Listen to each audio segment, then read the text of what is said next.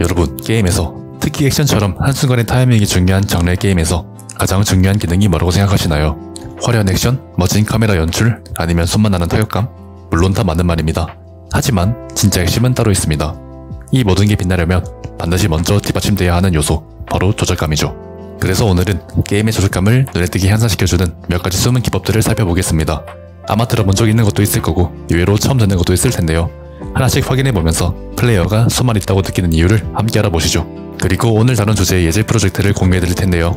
직접 여러분들이 각 기능을 키고 꺼보면서 조작감의 차이를 직접 체험해 보시면 좋겠습니다.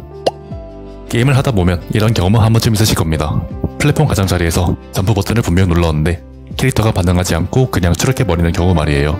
그 순간 드는 생각은 간단하죠. 아니 난 분명 점프 눌렀는데 왜 안 나가는 거야?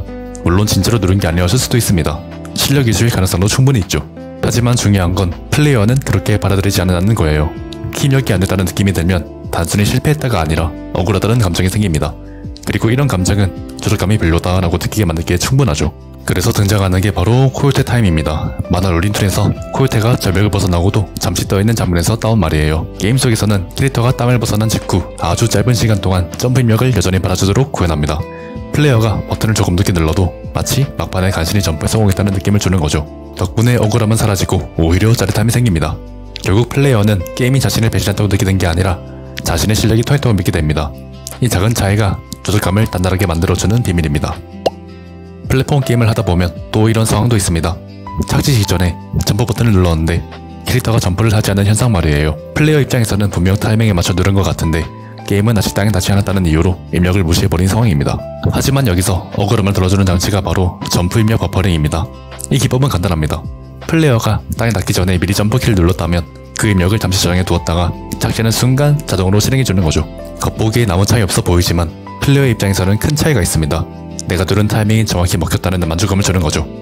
즉, 점프입력 버퍼링은 게임이 플레이어를 조금 더 관대하게 봐주는 장치이자 실패를 억울함이 아닌 공정함으로 바꿔주는 것이라고 할 수 있습니다. 게임을 하다 보면 이런 경험도 있으실 거예요. 점프 버튼을 살짝 눌렀을 뿐인데 캐릭터가 마치 로켓처럼 너무 높이 뛰어올라 버리는 경우입니다. 플레이어 입장에서는 아니 나는 그냥 작은 점프만 하고 싶었는데 라는 불만이 생기죠. 왜냐하면 조작은 단순히 점프한다 안 한다로 끝나는 게 아니라 얼마나 점프할 것인가 라는 미묘한 뉘앙스가 중요하기 때문이죠. 이럴 때 필요한 게 바로 variable jump height입니다. 이 기법은 점프 버튼을 길게 누르면 더 높이, 짧게 누르면 낮게 뛰도록 처리하는 방식이에요. 그래서 내가 의도한 만큼 점프가 나간다는 정밀한 조작감을 느낄 수 있습니다. 그리고 바로 이런 순간에 플레이어는 아, 이 게임 디테일이 살아있구나 하고 느끼게 됩니다.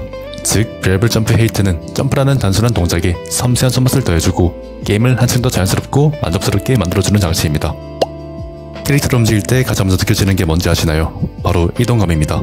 왼쪽으로 키를 눌렀을 때 캐릭터가 어떻게 반응하는지 멈췄을 때 얼마나 매끄럽게 정지하는지가 전부 조절감으로 이어지죠. 그런데 만약 이동이 누를 때는 한참 지나야 속도가 붙고 멈추려 해도 관성 때문에 계속 미끄러진다면 자칫 답답하게 느껴질 수 있습니다.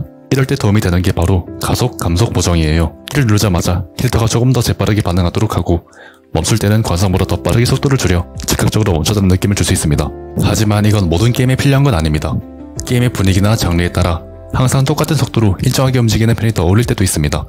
예를 들어 전략적인 판단이 중요한 퍼즐이나 탑다운 게임이라면 즉각적이고 균일한 이동이 오히려 더 깔끔한 조작감을 줄 수 있죠. 가속 감속 보정은 필수가 아니라 어떤 게임을 만들고 싶은가에 따라 선택할 수 있는 장치입니다. 정리하자면 오늘 소개해드린 네가지 기법 코요테 타임, 점프 입력 버퍼링, variable jump height 그리고 가속 감속 보정은 모두 플레이어가 게임을 더 자연스럽게 그리고 더 만족스럽게 느끼도록 돕는 장치들입니다. 언뜻 보면 아주 작은 차이처럼 느껴질 수 있습니다.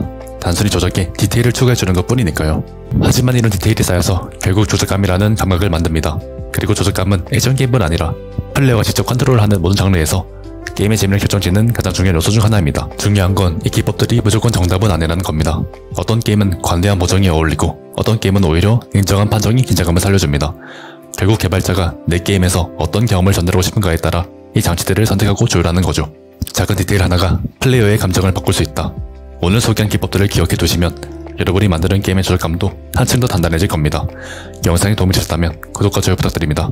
앞으로도 게임 개발에 꼭 필요한 꿀팁들을 계속 공유해드리겠습니다. 구현 방법이 궁금하신 분들은 영상 설명란에 프로젝트 다운로드 링크를 올려두었으니 다운로드하여 확인해보시는 것을 권장드릴게요. 오늘 영상 여기서 마무리하고 저는 또 유익한 영상으로 찾아뵙겠습니다. 시청해주셔서 감사합니다.